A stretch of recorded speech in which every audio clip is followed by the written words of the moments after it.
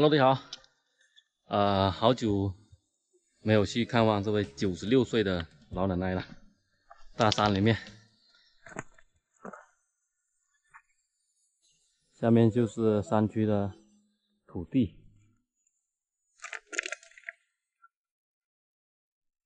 到了，独门独户，老奶奶家，应该在家，去看一下。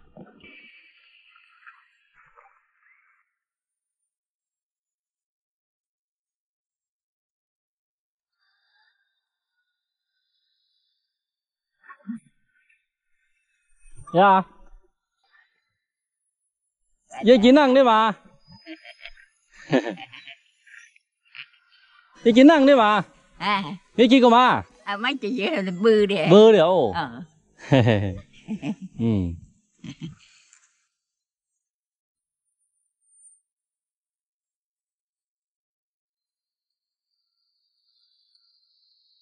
À, có coi mà má để cái cây mà.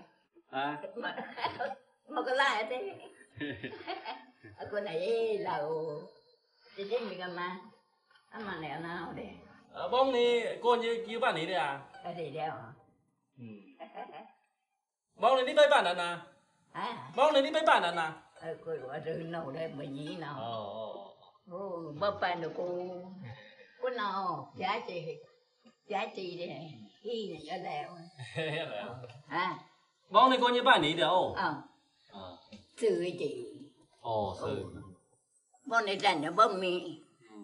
Bông này đi đi. À, Kinh đây đi bông này. à kinh à.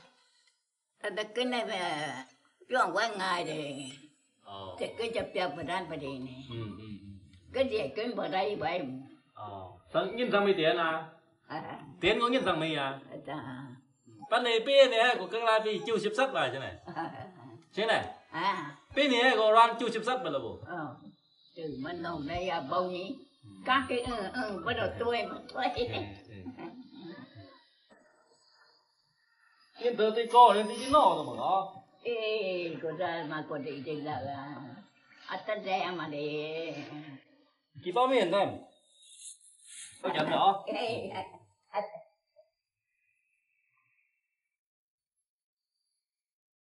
mà cái tờ ta này ta này cha mà ma mà tiền này là mà ma thì coi đi à mà tiền này mà mà ama kita tane tane chama mama mà má na mama te koi de ama te mne ma ja pa nyua ma le de a ko kia ngan la ba le ờ kia ya de bon lai ha đi kia de kia de ngã se yin se kia de ha đi ko ờ. Ờ. Rồi từ tao đi. Tiến nhân đi mì ờ. Chắc cái tệ. Ồ có nhé để dư. Để dư ta để dư thằng pha mà đâu có chị ta tìm bữa đây ở dư. Bây giờ Hayır, hayır, hayır. Ee, e, masaya tıktay, kocamla bırakacak kapay bırakay, tam mata tiyak kau. Oh. Oh. Ee, งี้มึงไรยาเอ้ยบ่ไรบ่ไรโอ้เออบ่ยังวันโอ้มันเลี้ยวดีกว่างงี้กูไรเลยก็เนี่ยบ่ไปไหนไปไหนประดังงานอืม ở đây thì chỉ bơ bê. Ba này bơ quất bay này bơ ra rồi có thể ừ. liều rồi dây quần nó bơ rèo ờ, ờ, ờ, ồ. bọn này đi tên ai vậy là? Ơi bây giờ bơ qua này có em mình nhỉ? Ở bao nhiêu, ờ.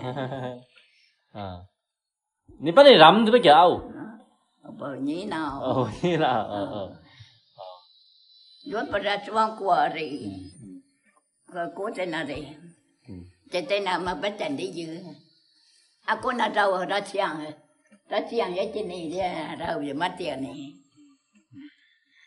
那么呢？哦，你，你。在的，我没有不。不。很多人好奇，山里面没有路，不通车，这种房子怎么建起来？没错，没有路，不通车，完全靠人挑。